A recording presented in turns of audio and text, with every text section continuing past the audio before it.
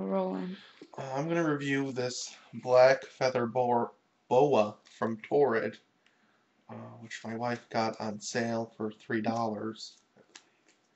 And not really sure much about feather boas, except wrestlers sometimes wear them.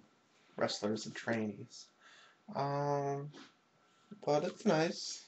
Could be a wrestler. The mustache for it. Think Jesse Ventura wore a boa once when he was a wrestler. It was governor.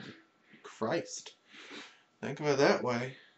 I would say it's sort of skimpy. It doesn't have much thickness to it. It's just like a string and a bunch of feathers. So it is sort of flimsy. Um, I wouldn't say it's a. I would say for three dollars, it's a deal. Uh, for like a Halloween costume. Don't know if you're kind of girl that shops at Torrid and wants to be extreme. Whatever. I don't need a scarf in the winter. I got a boa. This, I don't see this keeping your neck warm either. It's in your nose too. It sucks to be honest as a scarf. Uh, I could see it for short-term use because then it wouldn't be bothersome if it went up into your nose. Like if you were a wrestler going into the ring, like Jesse Ventura. That would be sort of sweet. Pretty sure he wore a boa. I'm not positive. I think Hulk Hogan wore a boa too. There was a, uh, what was that guy? The hair cutting guy from the 80s. Brutus the Barber Beefcake. I think he wore boas.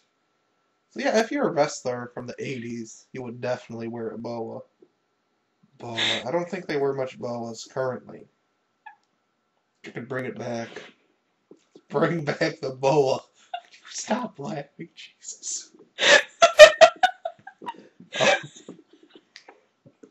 Like, yeah. You could be like one of those kids that want to bring it back old school, that wasn't alive for it. You know? It's like, yeah, I'm to bring it back, but I wasn't alive for it. Like me bringing back bell bottoms. I wasn't alive when they when they wore that crap. So yeah, I, I would suggest it though, if you want to be a wrestler.